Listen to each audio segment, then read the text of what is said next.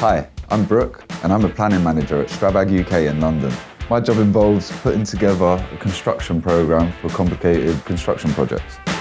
We start with a drawing of what the client wants and the scope of works and I have to work out how to build it, how long it will take, how many people we need, how much it will cost. So you're constantly trying to figure out a better way of doing things, a quicker way of doing things, a cheaper way of doing things, a more environmentally friendly way of doing things. So you need to be flexible to change and willing to act on it.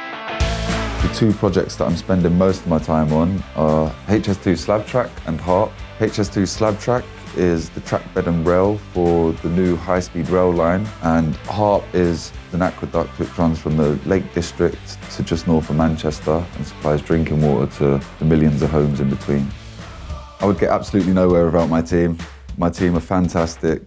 My team are from a variety of different backgrounds and the projects that we work on require all of these different backgrounds input in their specialist knowledge into they're some of the smartest, most creative brains in the country. And my role is to extract the right information out of the right people. When I started as a planner, one of the best ways that I learned was going on site every day and tracking progress. Being on site is, is where you learn everything.